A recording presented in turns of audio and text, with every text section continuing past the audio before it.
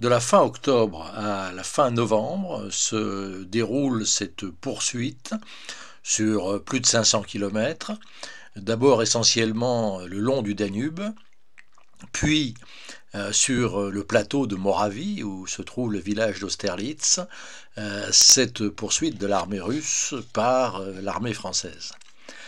Tout a commencé au milieu du mois d'octobre avec la défaite de l'armée autrichienne de Mack dans Ulm. Le 6 octobre, euh, double mauvaise surprise pour Mack. Euh, les combats contre les Français commencent plus tôt qu'ils ne pensaient, et alors que Kutuzov est encore à plus de 200 km, donc euh, hors d'état de porter secours. Et d'autre part, les combats commencent sur le Danube, mais à l'est d'Ulm, et non pas à l'ouest, là où on attendait les Français. Après une diversion réussie à travers la forêt noire, les Français sont arrivés rapidement et discrètement par derrière. Il s'ensuit une dizaine de jours de combats au cours desquels les Autrichiens vont tenter vainement euh, de briser l'encerclement ou de s'échapper. Euh, seul l'archiduc Ferdinand parviendra à se frayer un chemin vers la Bohème avec 15 euh, 000 hommes mais euh, il est poursuivi par la cavalerie française et la plupart de ses hommes seront euh, pris ou euh, dispersés. quant à Mack, enfermé dans Ulm, il doit capituler le 17 octobre pour éviter un bombardement qui ne lui laisserait aucune chance.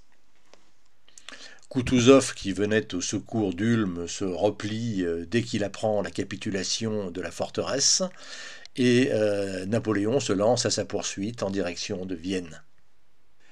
Ney est envoyé dans le Tyrol contre l'archiduc Jean. Euh, quant à Masséna, en Italie, il a livré plusieurs euh, combats de retardement suffisamment durs pour que l'armée de l'archiduc Charles n'ait pas pu rejoindre à temps l'armée de Kutuzov. Donc, euh, fin octobre 1805, la situation est favorable aux Français, mais encore très périlleuse.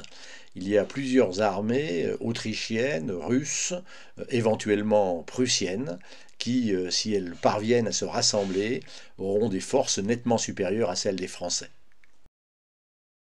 Lorsqu'on fait le bilan à la fin d'octobre 1805, il y a un élément qu'il ne faut évidemment pas oublier. Au moment où Napoléon manifeste sa supériorité sur le continent, euh, l'Angleterre frappe un coup décisif sur les mers. Le 21 octobre 1805, c'est la victoire de Nelson à Trafalgar. Euh, Napoléon en est informé euh, quelques jours plus tard. Donc on peut dire que Ulm et Trafalgar, c'est pratiquement en même temps. À Trafalgar, la flotte britannique détruit presque entièrement la flotte franco-espagnole euh, qui s'était aventurée hors de l'abri de Cadix. Euh, cette flotte devait à l'origine protéger le débarquement de Napoléon en Angleterre. Sa destruction ne change rien au plan de l'empereur, puisqu'il avait déjà euh, renoncé à ce débarquement en Angleterre pour se retourner contre l'Autriche. Mais euh, Trafalgar établit durablement un rapport de force très particulier, euh, la domination de Napoléon sur le continent, la domination de l'Angleterre sur les mers, ce qu'on a parfois appelé le combat de la baleine contre l'éléphant. C'est immédiatement après la capitulation d'Ulm, qui s'est faite du 17 au 20 octobre, que Kutuzov entame sa retraite vers l'Est retraite euh, vers où et euh, pourquoi faire? Euh, pour l'empereur François d'Autriche, le but essentiel, ce serait de protéger sa capitale, Vienne. Mais pour Kutuzov, ça n'est pas son problème. Ce qu'il veut avant tout, c'est éviter une bataille avec Napoléon alors qu'il est en position d'infériorité numérique et rejoindre le plus vite possible la deuxième armée russe qui arrive par le nord et qui se dirige vers la Moravie, qui se dirige vers Olmutz. Bien entendu, euh, Napoléon lance immédiatement la poursuite. Son objectif est de contraindre Kutuzov à une bataille et de neutraliser son armée comme il a neutralisé celle de Mack. L'essentiel de la poursuite se fait par la rive sud du fleuve, avec une flottille de bateaux qui euh, descend le Danube et qui transporte le ravitaillement. À la tête de la poursuite, il y a euh, la cavalerie de Murat. Lorsqu'on est en Autriche, la poursuite est retardée par euh, plusieurs cours d'eau, des affluents du Danube qui permettent des combats d'arrière-garde. Euh, Napoléon fait alors passer la division de Mortier sur la rive nord du Danube pour euh, accélérer le mouvement. Le 9 novembre 1805, arrivé à Krems, euh, Kutuzov réussit à tromper Murat. Il fait passer son armée sur l'autre rive du fleuve et il s'échappe vers le nord. Mais en s'échappant, il ne protège plus la route de Vienne. D'ailleurs, la cour d'Autriche se réfugie euh, précipitamment de Vienne à Brünn, une centaine de kilomètres plus au nord. Murat devrait comprendre que l'objectif de la campagne, c'est d'attraper Kutuzov, pas d'occuper Vienne. Mais euh, la gloriole l'emporte chez lui et il fonce sur Vienne, euh, ce qui d'ailleurs lui vaut un rappel à l'ordre très sévère de Napoléon. Mais il est trop tard, euh, Kutuzov s'est échappé vers le nord à la rencontre de la deuxième armée russe. Kutuzov se permet même d'attaquer Mortier sur la rive nord du fleuve avec des forces très supérieures. C'est la bataille de Dürnstein le 11 novembre 1805. Euh, au cours de laquelle les Français se retrouvent encerclés. Euh, Mortier est tout de même euh, maréchal de France et son état-major lui suggère de s'échapper en bateau par le fleuve pour ne pas offrir aux Russes une, aussi belle prise. Mortier refuse avec hauteur et déclare que qu'il ne quittera pas ses hommes, qu'il se sauvera ou périra avec eux. Au cours d'un assaut furieux, euh, les Français réussissent à s'échapper, euh, mais l'affaire a été très chaude. Dans euh, Guerre et paix, Tolstoï fait de l'un de ses personnages principaux, le prince André Bolkonski, le messager qui porte à la cour, de, la cour autrichienne, réfugié à Brünn, la nouvelle de la victoire de Dürnstein. Et il est reçu assez fraîchement par la cour et par l'empereur. Euh, ce qui montre bien deux choses. D'abord que les rapports ne sont pas très bons entre les alliés russes et autrichiens, et euh, d'autre part que tout le monde a bien compris que la victoire de Dürnstein n'avait absolument rien de décisif. Le 12 novembre 1805, donc euh, le lendemain du combat de Dürnstein, Murat est sous les murs de Vienne.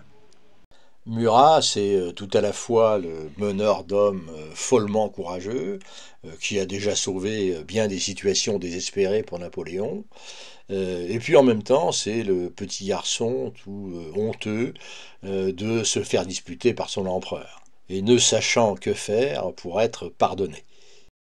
Aussi, lorsque Napoléon lui ordonne, justement pour se faire pardonner, de s'emparer d'un pont au nord de Vienne et de se relancer à la poursuite de Kutuzov, euh, Murat est prêt à n'importe quoi pour y parvenir. À cette époque, le Danube n'est pas encore canalisé. Il ne le sera que dans la seconde moitié du XIXe siècle. Et euh, au nord de Vienne, on le franchit par un pont, plus précisément par une série de ponts et de routes sur euh, pilotis qui traversent des zones marécageuses.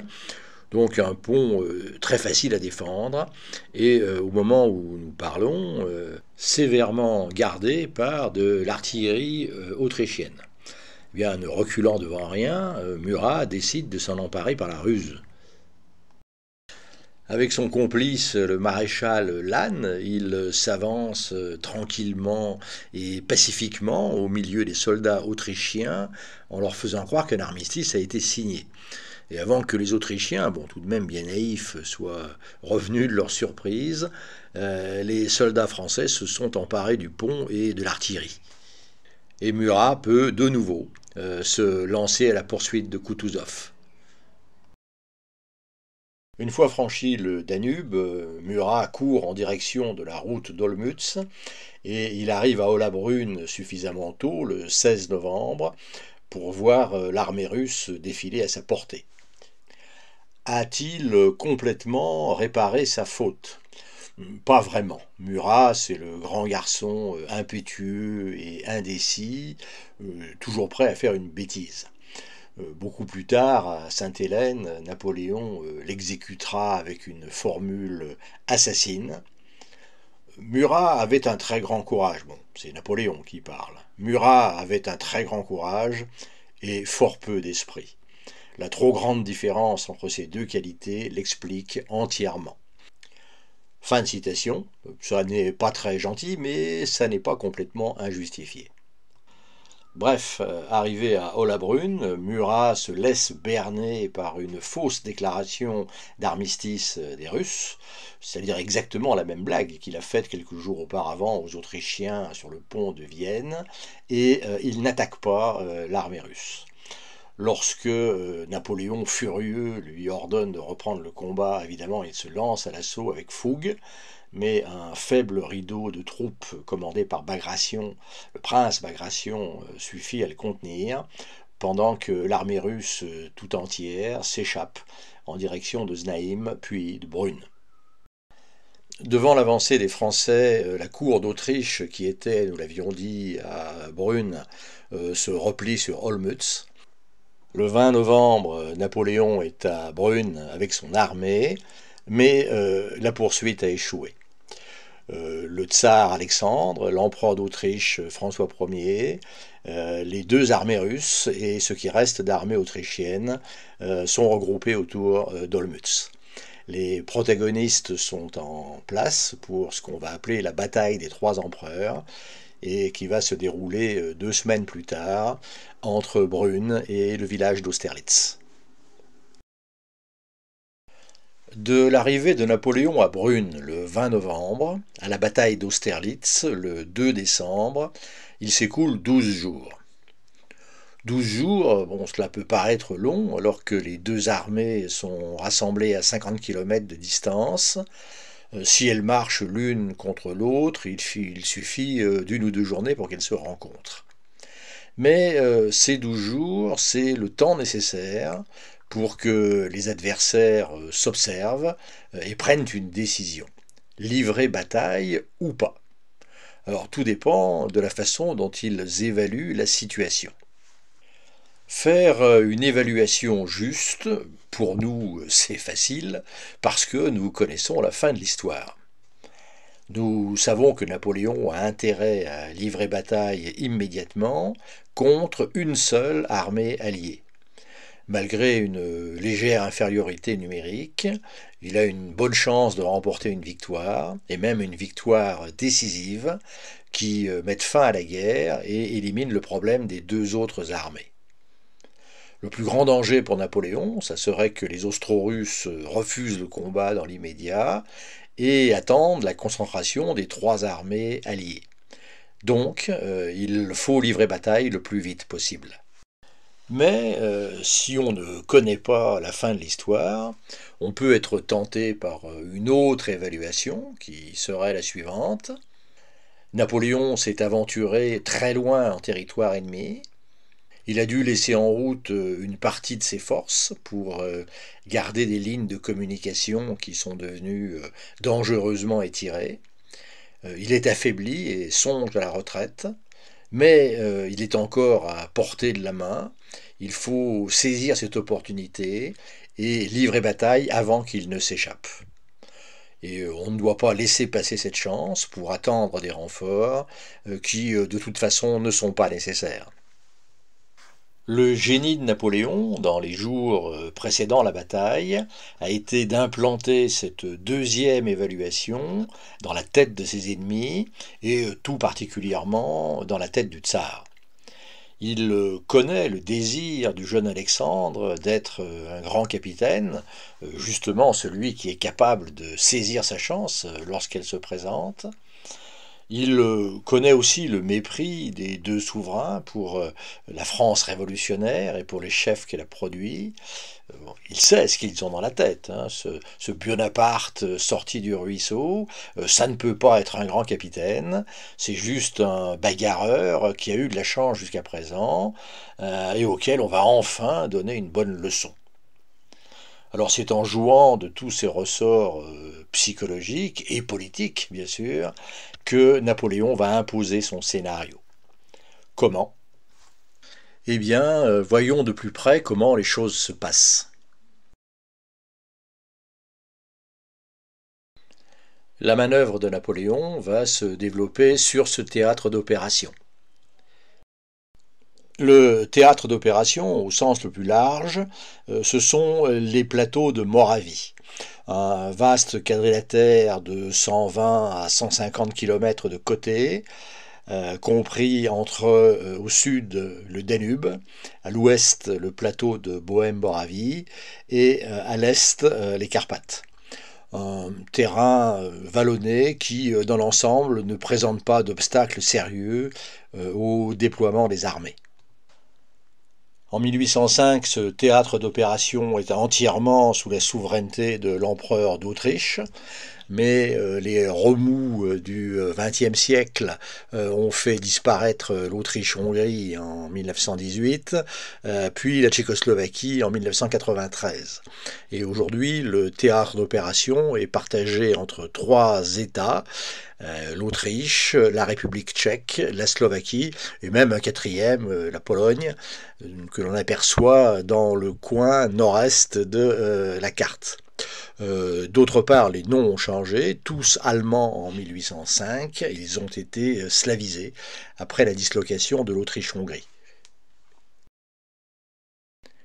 Arrivé à Brune le 20 novembre, euh, Napoléon souhaite provoquer le plus vite possible la bataille avec l'armée austro-russe concentrée autour d'Olmutz.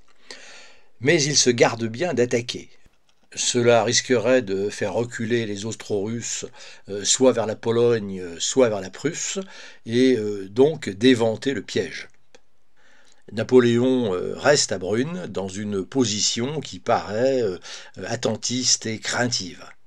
Il se contente d'avancer euh, quelques forces qui sont plus des appâts que euh, des avant-gardes, euh, des forces qui occupent Vichot, le village d'Austerlitz, et une bonne position défensive qui se trouve entre Austerlitz et Brune, le plateau du Pratzen.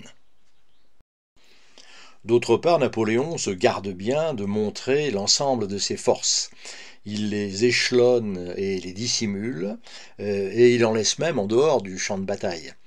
Euh, Bernadotte à Iglao, une soixantaine de kilomètres à l'ouest, et euh, Davout au sud, près de Vienne, avec l'idée de les rassembler au moment de la bataille décisive. Pour ce qui concerne Davout, c'est quand même un sacré pari sur les jambes des soldats, puisqu'on est là à une centaine de kilomètres du champ de bataille. Mais euh, le résultat de toutes ces manœuvres, euh, c'est que les Alliés estimeront à à peu près 50 000 hommes la troupe dont Napoléon peut disposer. Et comme ils en ont, eux, pratiquement le double, ils seront évidemment tentés par euh, la bataille immédiate. Enfin, Napoléon accepte de mener des pourparlers autour des conditions de la paix, ce qui donne l'impression qu'il cherche à éviter la bataille. Il euh, rencontre un aide de camp du tsar, le comte Dolgorouki, euh, qui revient de l'entrevue euh, persuadé d'avoir rencontré un, petit tyran, craintif et coléreux, et qui cherche avant tout à s'échapper. Et donc ce sont les conseils du jeune Dolgorouki que le tsar va suivre, beaucoup plus que les conseils de prudence du vieux Kutuzov qui lui sait à quoi s'en tenir. Dans les derniers jours de novembre, les Français euh, amorcent un repli. Ils abandonnent euh, le plateau du Pratzen, euh, le village d'Austerlitz et également Vichot, où les quelques escadrons de cavalerie française qui sont là se retirent après un bref affrontement avec les Alliés. Pour l'entourage du tsar, la cause est entendue. Napoléon est en position de faiblesse, il cherche à s'échapper, euh, il faut l'en empêcher par une offensive qui sera un mouvement tournant, euh, coupant les Français de leur euh, route de retraite vers Vienne. Le 1er décembre au soir, l'armée austro-russe est en place pour porter le coup final.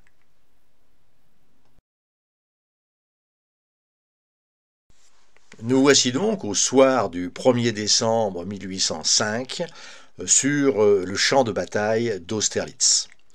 Euh, peut-être pensez-vous enfin, peut-être trouvez-vous qu'on a beaucoup traîné pour arriver jusque-là. Je ne partage pas ce point de vue parce que ce qui va se passer le lendemain, 2 décembre, jour de la bataille d'Austerlitz, eh bien c'est l'aboutissement et la répétition de ce qui s'est passé pendant les deux semaines précédentes et qu'on peut appeler la campagne de Moravie. Euh, cette euh, concordance entre la campagne et euh, la bataille, ce n'est pas mon interprétation personnelle, c'est Napoléon qui nous le dit.